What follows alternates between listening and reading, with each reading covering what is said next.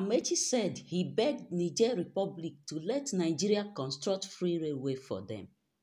The Minister of Transportation, Right Honorable Rotimi Amaechi, says he personally traveled to Niger Republic to beg the country to allow the Nigerian government to construct the 1.95 billion US dollars railway from Kano State into Maradi in Niger Republic. The minister said some had even accused him of serving northern interests even though his wife is Igbo. Amaechi said it is like the shout about Kano Maradi rail. I said my wife is Igbo, she's not from Maradi. The worst is that they will say I am serving the interests of the North. Let's assume this is the argument you will make.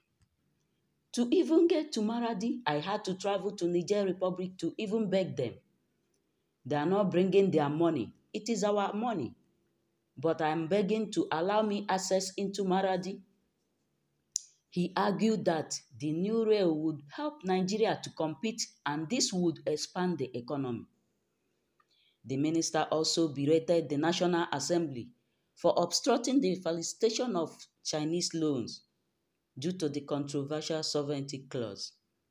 In July 2020, a House of Representatives panel had raised the alarm over clauses conceding Nigerian sovereignty to China.